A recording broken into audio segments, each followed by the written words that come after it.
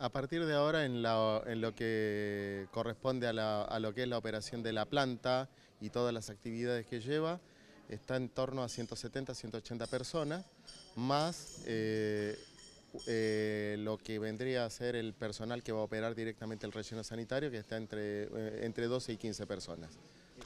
¿Se requieren personas este, con ciertos conocimientos para algunos trabajos en particular? Para algunos trabajos particular sí, porque se necesita eh, gente especializada en, el manejo de equipos, eh, en manejo de equipos viales, eh, choferes para camiones y sobre todo para la parte de relleno sanitario todo lo que es manejo de equipos viales. En ese sentido son este, la mayoría formoseños y formoseñas. si bien arrancamos con una base que era fundamentalmente de Buenos Aires en un comienzo, eh, luego de, luego de eh, cuando se fue avanzando la operación, se fue incorporando solamente personal de Formosa y se llegó a la, a la finalización de obra con casi un 90% de personal de Formosa. ¿Cuándo eh, estará operativa al 100% esta planta?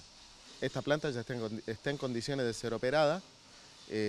empieza teóricamente el próximo lunes ya a recibir residuos y a a usarse las instalaciones, lo mismo que el relleno sanitario. Obviamente como todo es una, si bien el personal tiene entrenamiento, eh, hay una etapa de puesta a punto donde tienen que ir adaptándose al uso de las máquinas y al, al, tratamiento del residuo.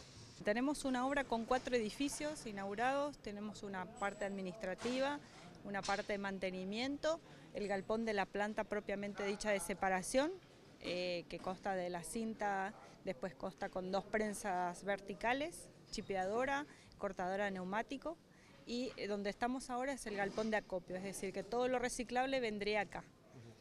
Después contamos este, con un módulo a cinco años y con una planta de tratamiento compacta de lixiviados.